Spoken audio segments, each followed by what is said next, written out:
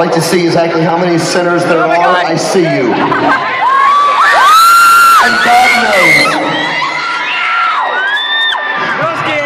All you first timers, I love you!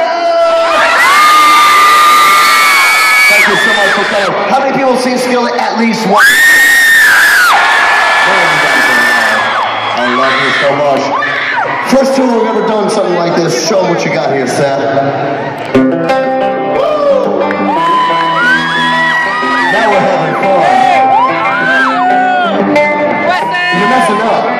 You, you, you messed up calling. You know why? You don't have your moj, your mojo. Because all these cool young people out here are going, whoa, he's playing a banjo, he's so cool. But you don't have your nerd cool glasses on. Now you put